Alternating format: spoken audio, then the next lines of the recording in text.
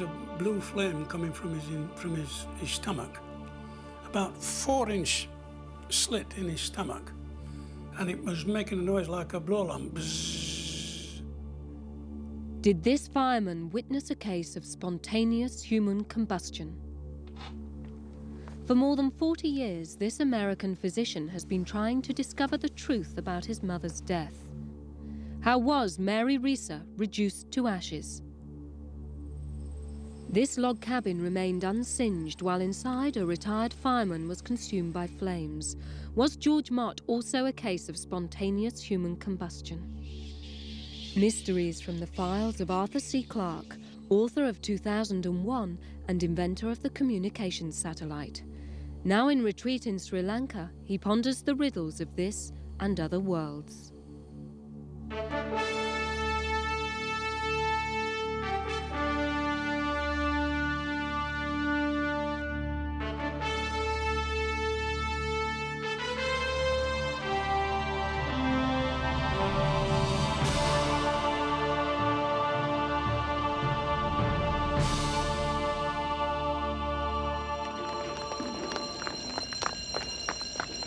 There's one mystery I'm asked about more than any other, spontaneous human combustion. Fires, of course, are all too common, but occasionally brigades like this one near my home in Colombo are called out to deal with cases which baffle even the experts. Apparently, for no reason, people have suddenly burst into flames. Their bodies are almost totally consumed, yet amazingly, their surroundings are barely singed. When I first investigated spontaneous human combustion, the explanations seemed even more fantastic than the facts. However, new evidence has now emerged, so I'm returning rather reluctantly to this most gruesome of mysteries.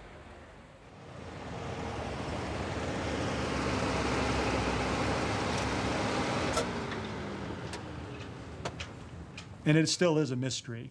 Uh, we talk about the case today just like we did uh, 20 years ago uh, when I first started, and even in 1951 when the incident occurred. A great deal of speculation, a great deal of uh, conjecture. Everybody has an angle, but nobody has the answer. The bizarre death of this man's mother has kept Florida talking for 40 years. In the bedroom of her wooden bungalow, on that fateful summer night in 1951, Mary Reeser kissed her son Richard goodbye. To the young physician, everything seemed normal.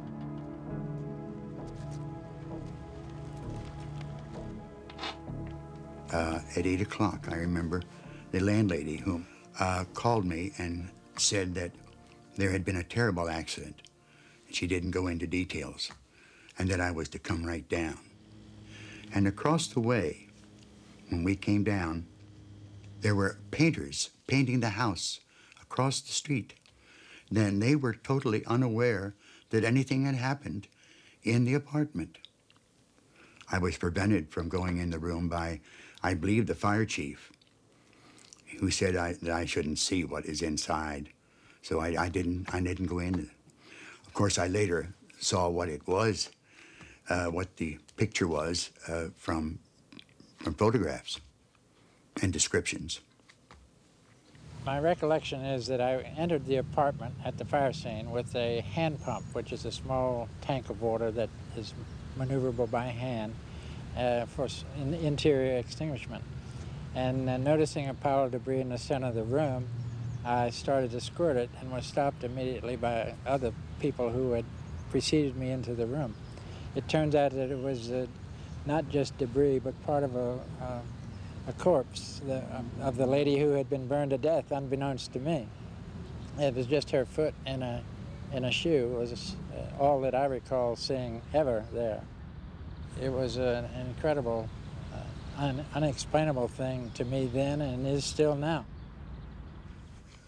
She was consumed almost completely. Uh, just what remained was a heel of a of her left foot and uh, just a piece of the skull, plus a little ash, the remains of her body. Everything had been consumed.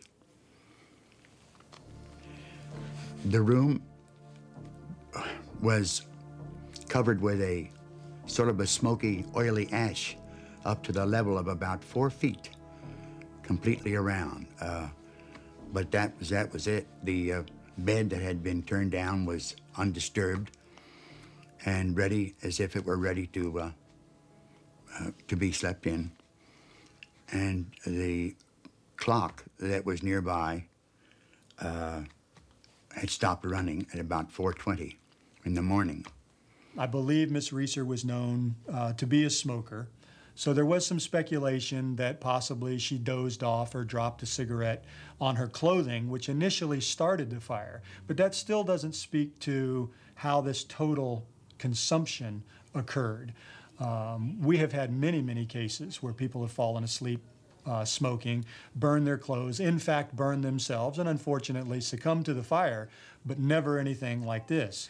Uh, I believe there probably was some type of external ignition source. Now, what that was, I couldn't begin to speculate. Um, but I think, in my mind, what happened, Miss Reeser's body began to burn much like when we cook food. And you can essentially cook food down to nothing by applying the proper amounts of heat over the proper period of time. Um, unusual as that may seem, I think the human body in this case actually became a fuel for fire as opposed to uh, just a recipient of heat related injury. The possibility of it being a, a spontaneous combustion uh, arose and was written. Uh, even all we're all kinds of theories were uh, brought out, such as even lightning that came through a, an open window. Um, but uh, there was nothing concrete. And the fire, fire people here uh, had no explanation for it. No one had any explanation. And I, in looking back, I, I just think that no one ever knows how uh, a person of her size and weight, I judge she weighed about 170 pounds, uh, could be so totally uh, consumed uh, by, a, by a fire that only, uh, that only involved a, a, portion of her room, the chair, which was, uh, for, of course, completely burned. All that was left were some springs that were found near the ashes of her body.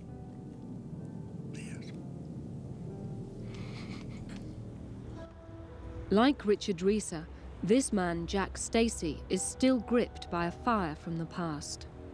On this spot in Lambeth, South London, stood Auckland Street, the scene of the strangest sight of his 30 years as a fireman. The memory has brought him back to search the records at the Fire Brigade's museum. Uh, we got the call at about um, 20 past five in the morning, and uh, when we arrived, um, two or three minutes down the, down the embankment, there were about uh, half a dozen office cleaners outside this derelict building. And uh, they were pointing to the first floor and said, uh, We think there's a fire in there. And sure enough, there was a, a flickering blue flame coming from the upstairs window. Well, when we got up the ladder to the, onto the first floor, there was a, a body, man's body laying on the stairs. And um, there was a blue flame coming from his, in, from his, his stomach about four inch slit in his stomach and it was making a noise like a blow lamp. Bzzz. And it was about eight inches long. That was the first thing we saw. A man came up the ladder with the hose reel and we actually put the hose reel inside the man's body. It was actually, he was burning from the inside out. It was the most bizarre um, thing I've ever seen at a fire. I think this is why I remember it so vividly. I've seen bodies in fires before, but uh, you always, uh, we've always been able to say, this happened or that happened, or we know how this started. But this one, I'm afraid we didn't know. And we still don't know. And the cause of the fire is still unknown. The official cause of death by the coroner was the inhalation of fire fumes, suffocation due to inhalation of fire fumes. I have my doubts about that. I have my doubts about that.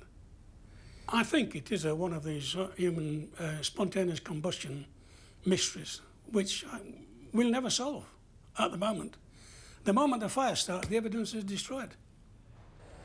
Firemen are used to things igniting spontaneously. For example, haystacks can generate enough heat by fermentation to catch fire. And I've even heard of a case in Britain of a laundry which was razed to the ground when a pile of very dirty washing apparently went up in smoke on its own accord. But people spontaneously combusting is quite another matter. In earlier centuries, that old scapegoat, alcohol, was blamed by investigators and popular novelists. The idea of spontaneous human combustion fascinated the Victorians. In Bleak House, Charles Dickens chose it to dispose of a troublesome character. Popular belief linked the phenomenon with excessive drinking, and improving texts warned drunks that they ran the risk of spontaneous combustion. Serious research was scarce. One sober report from Dr. Mackenzie Booth in Aberdeen, Scotland, couldn't explain how a soldier was found burned up in a hayloft, yet straw inches away was untouched by the flames. Despite increasingly lurid reports, science stood back until the 1960s. Professor David Gee., then a young pathologist, was called in to investigate the mysterious death of an old person. She had fallen in the grate and been reduced to a pile of ashes. She had burned almost completely, only a fragment of flesh and bone remained. Professor Gee wanted to discover how this could have happened. He published an account of his audacious experiment. I thought if I made a model that in one sense, reproduced a body by using a glass test tube which would provide a sort of central firmness and then wrapping it around with some uh, human fat uh, and then putting around that a number of layers of, of cloth, uh, perhaps five or six layers to reproduce several different layers of clothing and ignited one end of it with a, a gas Bunsen burner. Uh, it then burnt uh, with a rather smoky flame, um, and it took about three quarters of an hour to burn down about six inches of model, and what was left was a, a very blackened, uh, charred remains that looked very similar to the, the body that I'd been examining. That it was like a candle, only instead of having, as candles do, a wick down the middle with the wax on the outside, um, this was really um, a candle with a wick on the outside and the combustible material on the inside. Today, Dr. Siva Loganathan leaves his local butchers with a bag full of pork. It's the material he needs to carry on experimenting where Professor Gee left off.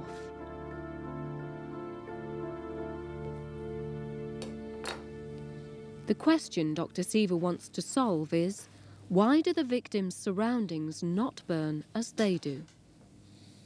I've taken some pork with a little muscle and some fat I've rolled it uh, into a cylinder and then covered it with a cloth. Now, the idea being that the rolled up uh, piece of meat would represent uh, a human body, and the cloth would then represent the clothing on it. Uh, when the fat melts, it would then soak into the the cloth and then that would continue to burn exactly like a candle excepting in this case the wick is on the outside of the fat as opposed to being in the middle. The bodies are found burnt and almost ashed with very little burning in the surroundings and perhaps a little bit of the leg is left behind with almost a, a, a fairly well marked uh, line of demarcation we want to know why the rest of the surroundings didn't go up in flames. We want to know why uh, this progressive burning occurred. And this gives you as a fairly good working model as to how this whole process occurs. The slowness of the process, the, uh, the, the lack of violence of the flames uh, proves to us that this is uh, quite a feasible explanation for this uh, phenomenon.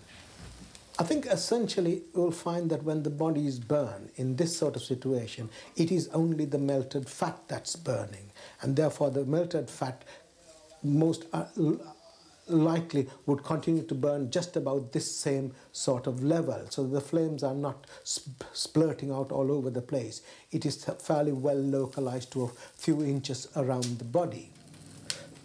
That's what's happened. That's the skewer that I'm keeping in order to keep it, keep it uh, stiff. I don't think there's anything miraculous about it at all. It, I think, is perfectly uh, logically explainable. So this experiment just shows that it is possible. I haven't really done a complete body, but this is the principle by which this whole phenomenon occurs.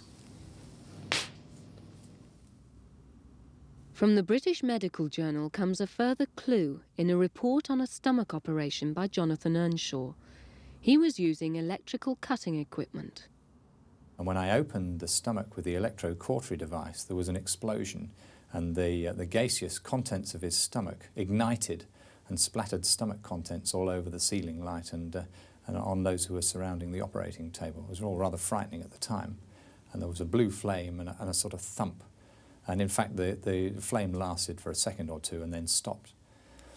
As you can imagine, it's a pretty frightening sort of thing to happen to you when, when a patient explodes on the operating table. And uh, there was a stunned silence initially. And we then checked, and we checked the patient, we checked all his vital signs, and we checked the, uh, the inside of the stomach. But in fact, because the, the gases had been coming out of the stomach under pressure when they'd ignited, fortunately there was no damage to the patient, and we carried on with the operation, and, uh, and the patient did very well afterwards. But when we published this paper in the British Medical Journal, I then got a, a whole sheaf of letters from other doctors, particularly elderly doctors, uh, who'd seen this occurrence on several occasions in the past. And there are some lovely letters here from, uh, from surgeons and GPs, uh, uh, from a soldier who was under my care in 1941 who was rude enough to belch whilst lighting a cigarette, and the resulting flash and explosion seriously disturbed his comrades. So obviously it's, it's like a lot of things in medicine, we were only rediscovering what uh, people had known about in the past. Organisms can proliferate and produce methane, which is obviously flammable. If you then ignite it with a spark like I did, then that's not spontaneous combustion, that's ordinary combustion. John Heymer developed his own theory about spontaneous human combustion while he was scenes of crime officer with Gwent Police in Wales. Two deaths, only three weeks and 15 miles apart, inspired him. It was the coincidence of the two cases that got me really going. You had the same pile of ashes, the burning was the same, and the burn line went straight across from one leg to the other. That's what got me interested and started me on actually investigating other cases.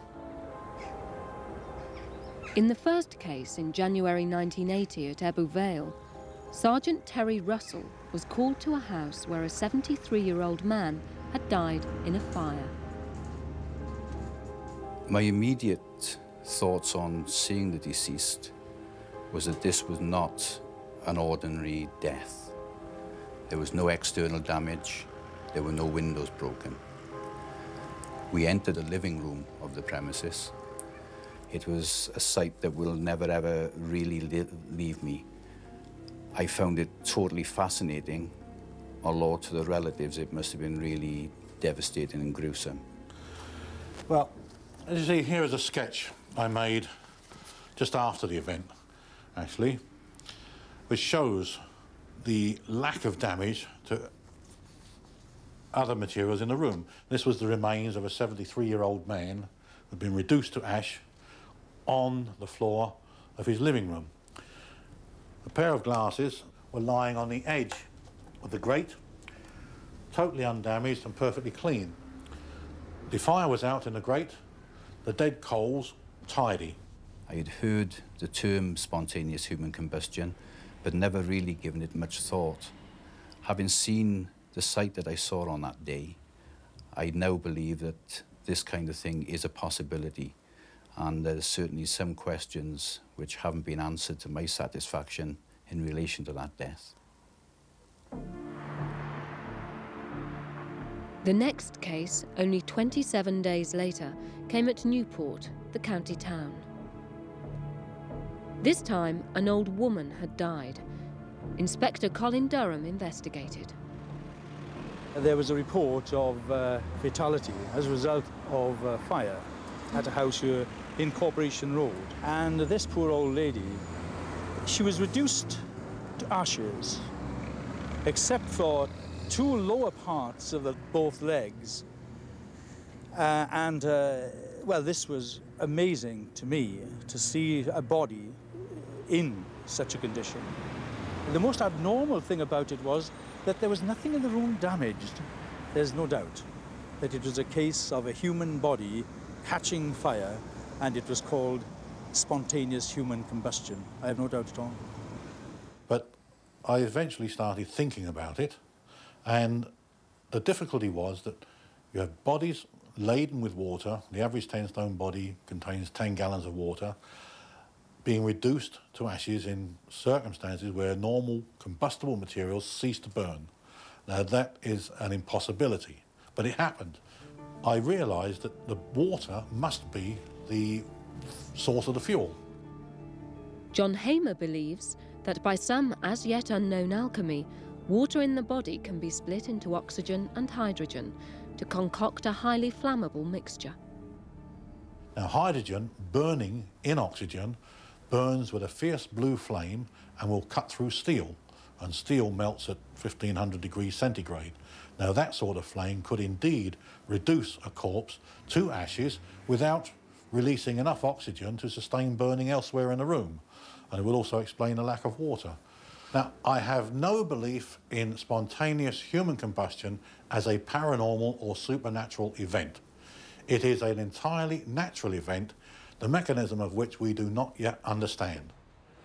The scientists' rather stomach-churning experiments show that most of these cases do have a rational explanation. There's usually some source of ignition near the victim, perhaps a cigarette or a faulty electrical appliance. Yet some cases still seem to defy explanation and leave me with a creepy and very unscientific feeling. If there's anything more to SHC, I simply don't want to know.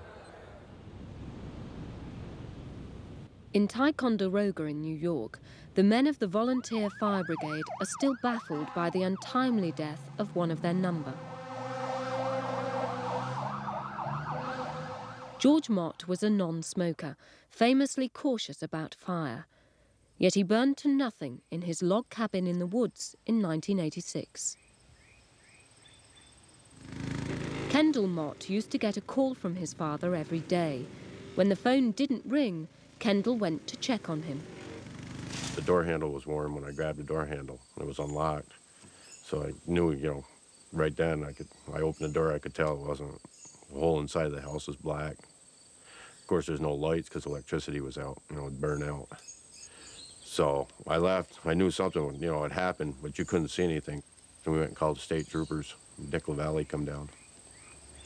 The first room that we walked into was uh, nothing too much out of the ordinary other than I couldn't help but notice uh, as I looked around that the, that the walls were uh, uh slightly brownish colored. Uh, it appeared that the place had been subjected to intense heat.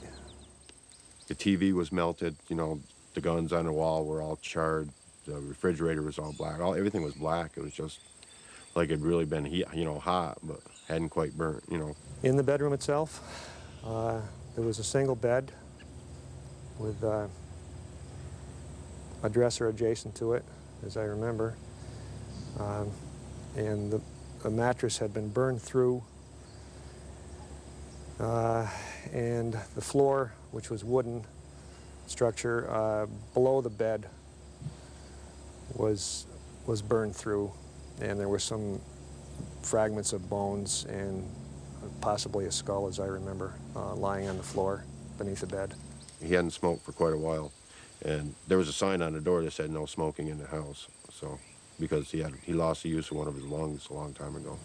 Yeah, you know, all the signs indicated that there had been an extreme amount of heat, but nothing had caused uh, anything to ignite. Uh, and the only thing that had burned itself, you know, was uh, George Mott's body.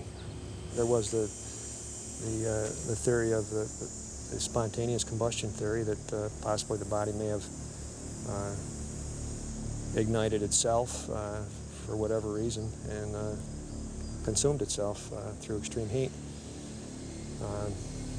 Other than that, putting that aside, I don't think that there's that there are too many other plausible explanations for it that I can think of. Well, he was a fireman for quite a while. He was pretty picky as to, you know, letting leaving things around, you know. But I don't know. I don't think it was fire. I just think it was like they said, spontaneous combustion. I don't see any other answer for it.